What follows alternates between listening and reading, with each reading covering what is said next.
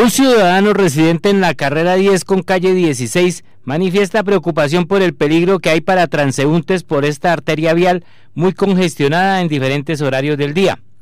El ciudadano manifiesta haber presentado un derecho de petición ante las autoridades correspondientes para que se estudie el caso de la carrera décima con calle 16. Esa calle es muy estrecha y es la vía más transitada, más congestionada y de mayor flujo vehicular que tiene San Gil. San Gil no tiene prácticamente vías para, vías para descongestionar el tráfico vehicular. E insiste en la problemática dada la situación de las oficinas de Cotrasangil y su tránsito vehicular, lo que aumenta el desplazamiento de numerosa población por el sector.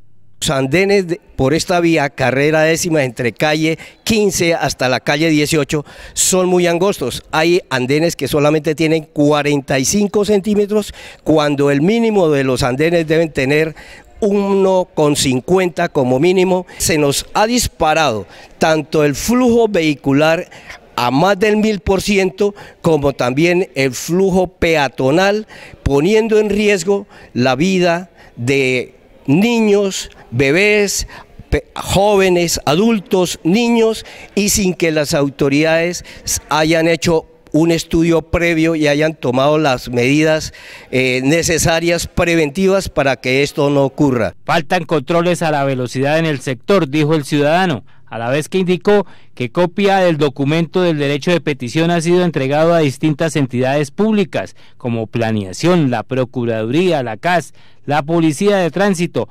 Electrificadora de Santander, entre otros.